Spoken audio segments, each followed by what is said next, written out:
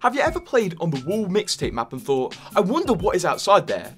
Probably not because it's just Storm Point, but the thing is, there is some weird differences on this map if you break out of it. There are a few strategies that you can use to break out, although none of them are 100% certain. Basically, just push yourself against the wall of a rampart turret until something happens. But when you're out, all of the tridents are replaced with these.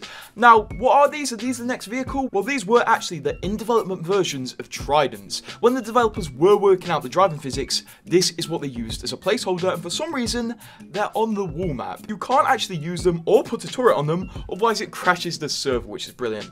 Also, they've removed all of the doors, and every single flyer that's carrying around the death box carries around an empty death box. So when you're down it, it just fizzles out of existence because there's nothing in it. This is actually pretty interesting, although I'm pretty sad you can't drive the tridents, because honestly, I can just imagine T-posing around on these, it would be pretty cool. But to get through the wall, basically this is what you need to do, and just keep doing it until you get out. I, there's really no rhyme or reason to it at the minute. But anyway, what do you think of these vehicles? Do you think they should add more vehicles? And subscribe.